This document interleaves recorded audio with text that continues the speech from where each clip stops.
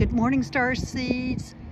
I am at the Redwood Forest near um, Crescent City Beach and driving through the Redwood Forest. I had to stop and take a look at this. Absolutely beautiful. These trees are huge. So y'all just enjoy this scenery here. And these are just right off the side of the road. We were just riding through them.